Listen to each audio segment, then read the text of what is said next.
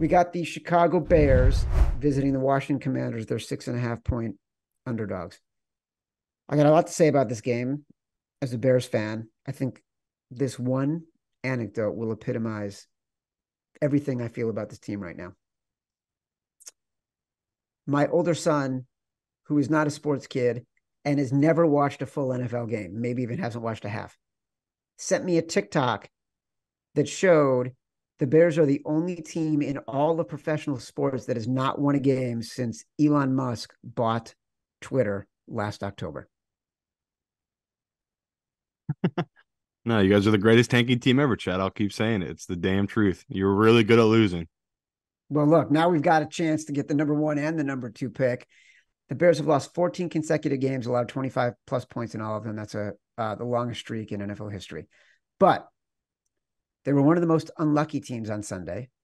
Outgained Denver by 160 yards, had nearly 30 first downs, had four drives ended Broncos territory with no points, um, including the sack and strip and the fumble return for a touchdown to tie that game.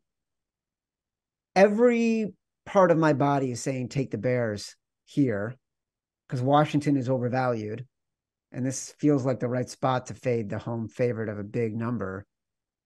What are we supposed to do here? Yeah, I know some pros have coming on the Bears, but yeah, I, am kind of in the same spot as you. As I got no real read on it, where your your defense is so horrible, and you've had so many injuries. So you already had bad players on defense, and those bad players have gotten hurt. So now you have those bad players backups playing. It, it, it's really an absolute train wreck for this Bears defense. So I want to take it because I feel like Fields could be in this game, and you can the way you attack this Washington team is deep balls and throwing into that secondary, and that's what the Bears can do pretty well actually. So I want to take the Bears. I was hoping it stayed seven. The pro money came in at six and a half now. I don't know what the hell I'm gonna do this one. I, I'll, I mean, I always talk about. It. I just like betting prime time under, so I'll take the under. Maybe I'll tease um, Washington down. It's it's a it's a long teaser number. You get them down to 0.5.